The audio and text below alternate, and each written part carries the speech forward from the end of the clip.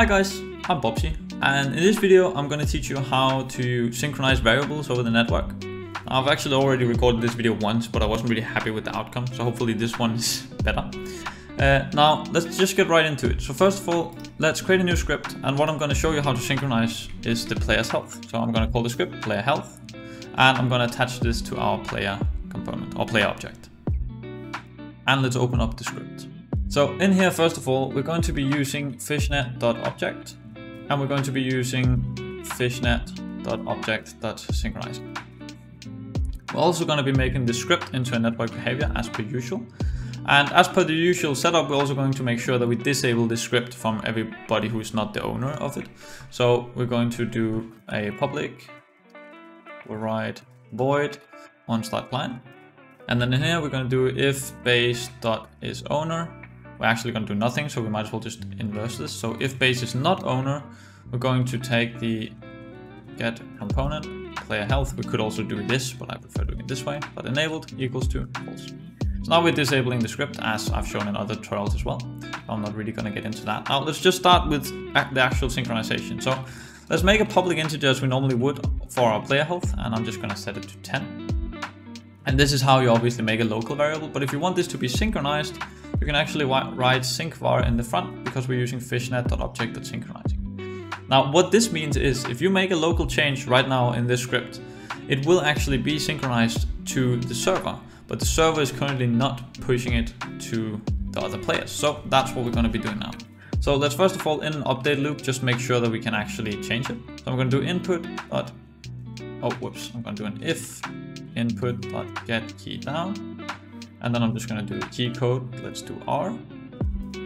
And then in here, we want to run a function where we actually update the health and tell the server to update this health for us, because then that's going to get pushed to all the clients.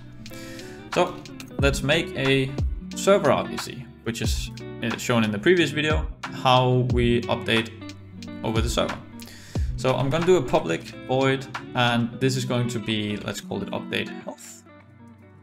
And in here, we first of all want a reference to this script to make sure that everybody knows that we're updating it to, that this is the script we're going to be changing. So I'm to do a player health and call it script.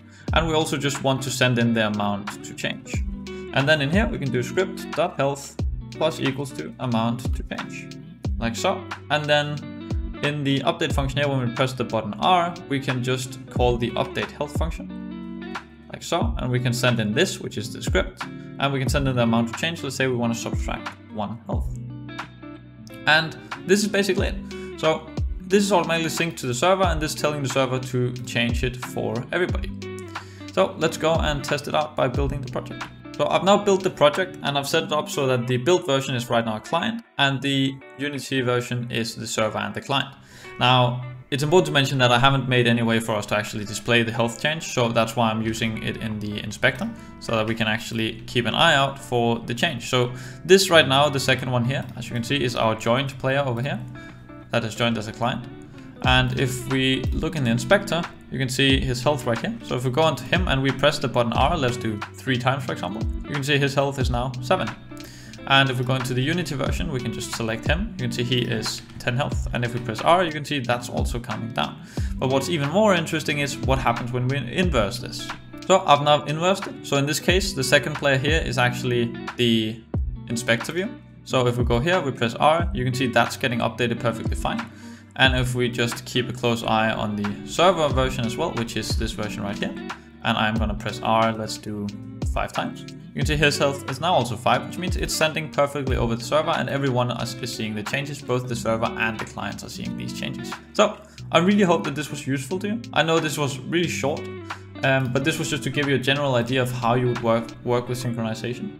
Now, I will leave a link in the description to the Fishnet documentation on synchronization, because there's so much more you can do with this. This is only the surface and the very, very basics of actually synchronizing. There's a lot of other ways to do synchronization as well, but this to me is the easiest to grasp how it works. Now, you can synchronize variables, obviously, as we've just done, but you can also synchronize lists, dictionaries, and you can even make your own custom synchronization types. So for example, if you make a custom class and you want to keep this always synchronized, you can also do this. You just need to see how the setup works, which you can do in the Fishnet documentation. So I really hope this was useful to you. If you like it, I like it much appreciated. A subscription is always much loved. and have a wonderful day.